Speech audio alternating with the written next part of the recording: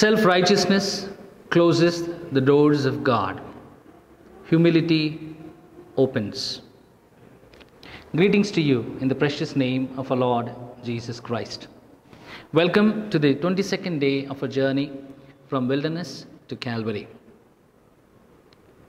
A man who entered heaven after his death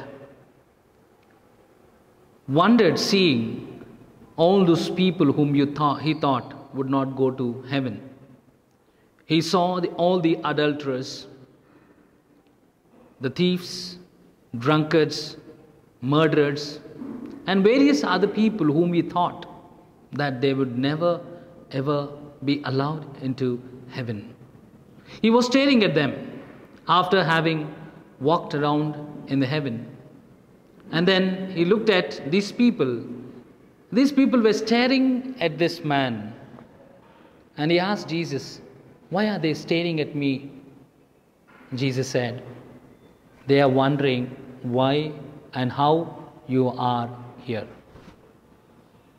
My dear brothers and sisters in Christ Jesus, everyone feels that they are right and the others are wrong. And if we understand the reason behind it, why we feel that we are right and the others are wrong, maybe this is the reason.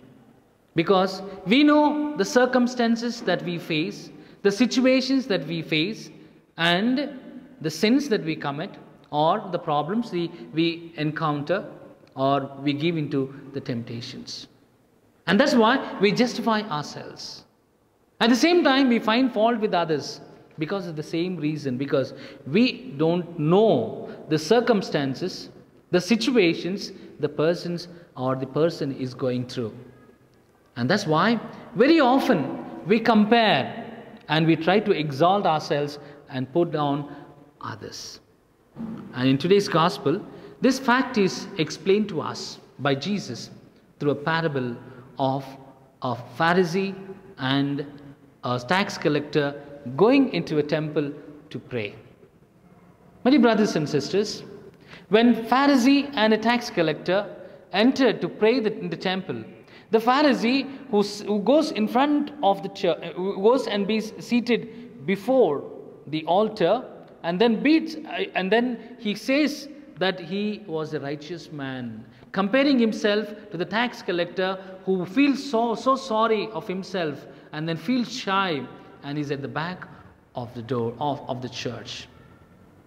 My brothers and sisters, this Pharisee goes on, compares himself with the tax collector, saying, I am not like him. I am not like that man. I am not like him. And I, he was always boasting about his works, that I am prayerful, I am charitable, and so on. My brothers and sisters, notice that a Pharisee was focusing on himself. The I, which is very dangerous because it makes us to focus only onto ourselves. I want, I am great, I need this, I need that. People have to do me a favor, and then I need to, ex- I expect a lot of appreciations. I, I, I. We are always behind ourselves. Focus is onto ourselves.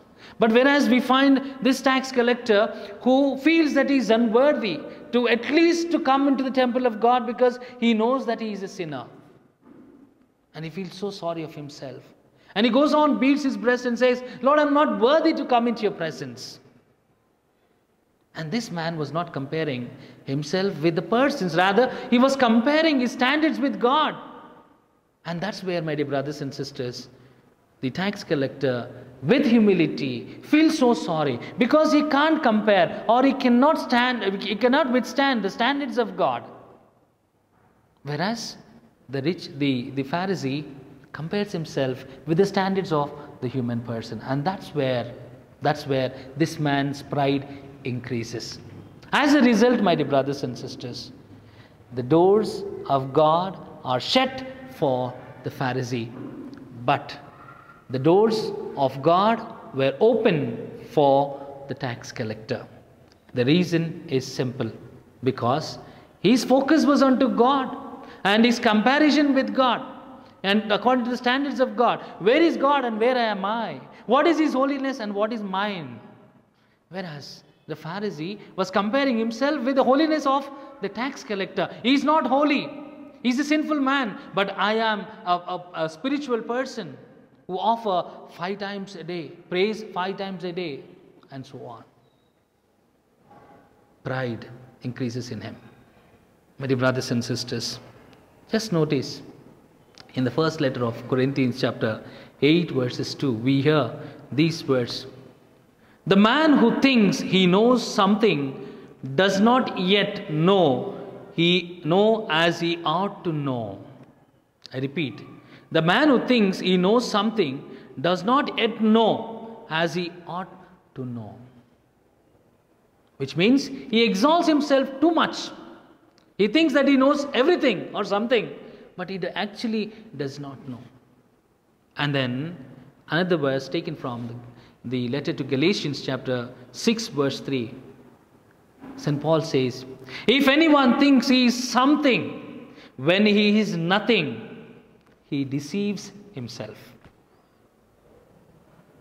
When we know that we are nothing and we feel that we are something great, and there he says that we are deceiving ourselves.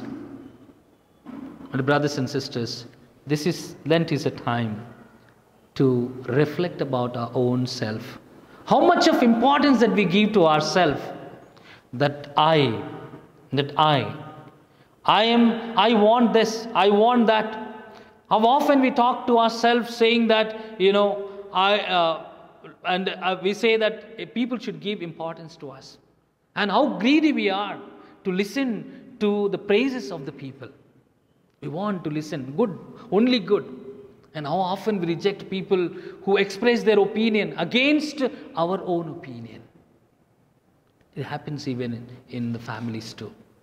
The brothers and sisters, we want to others to be others to appreciate us, but very few times we appreciate others. There are people like you longing to receive appreciation. But how often do I give appreciation? How often do I acknowledge the other's other person's hard work or the reward? If you like this small piece of reflection, kindly share, like, and don't forget to comment and contribute your little share of might for our brother Vijay, who is struggling to promote this channel. God bless you and have a wonderful day.